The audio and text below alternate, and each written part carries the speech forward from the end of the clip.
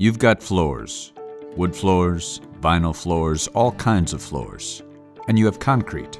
When you're building a building, like, say, the Aurora Hospital in Burlington, Wisconsin, or the Mall of San Juan in Puerto Rico, you don't want water penetrating into the concrete slab or rising out of the concrete and damaging the floors. The Bone Dry Concrete Moisture Mitigation System is your comprehensive safeguard against moisture problems. With proprietary chemical products manufactured and distributed right here in Kenosha, Bone Dry Products was founded by Jim Gorley Jr. in 2002. Originally a one man operation based out of Jim's home, Bone Dry Products has grown to four employees, five independent salespeople, and recently a 7,000 square foot facility in the Kenosha Business Park.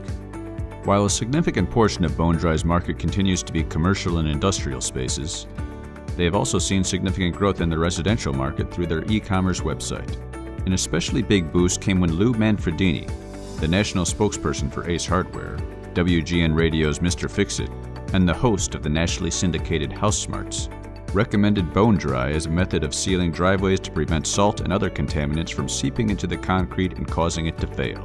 The exposure through Lou and his shows has brought significant traffic increase to Bone Dry's website, resulting in substantial online sales growth. Today, Bone Dry sells eight different products in a variety of sizes across the globe. It looks like they've got things covered.